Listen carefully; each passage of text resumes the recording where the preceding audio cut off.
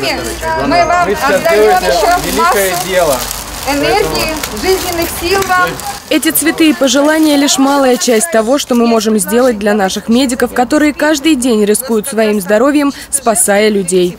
В первую очередь мы привезли им свою любовь, свою поддержку и свою энергию. Это самое важное сейчас.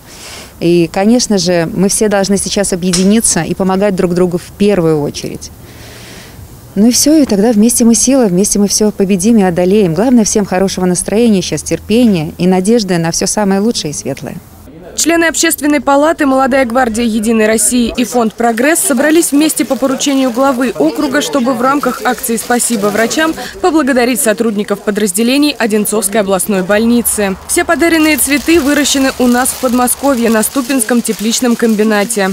Коронавирус – это реальная угроза российскому обществу, которая охватывает все слои нашего общества, она проверяет на прочность всю систему российского здравоохранения, и от этой угрозы не убежен никто в нашей стране. Наши дорогие уважаемые врачи находятся на передовой линии борьбы э, с этой угрозой.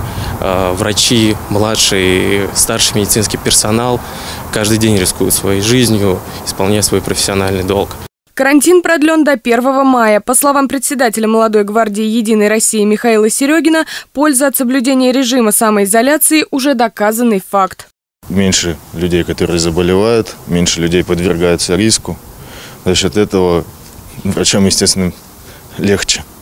То есть это единственное, чем мы, ну, по сути, можем им помочь в данный момент.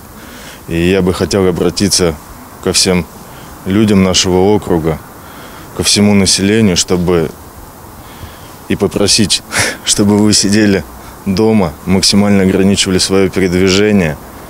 Тем самым вы реально сможете помочь.